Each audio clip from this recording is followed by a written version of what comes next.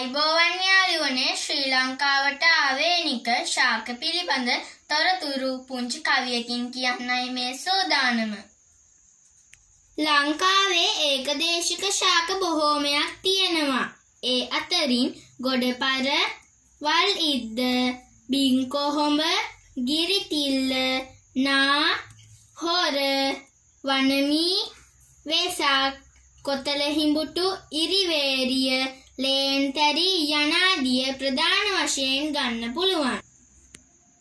ගොඩ පර ගස් මැන්දේ වල් ඉන්දත් නැත්තේ. බින් කොහොමට මුවා වෙලා ගිරිතිල්ලත් නින්නේ? ගිරිතිල්ලත් නින්නේ.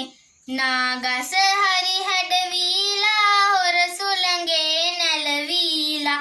වනමී ගසුගොනු වීලා වෙසක් ගසින් බැබලීලා. වෙසක් ගසින් බැබලීලා. කොතල හිඹුටු හරි අගෙයි ඉරිවේරිය බිම ඇදෙයි.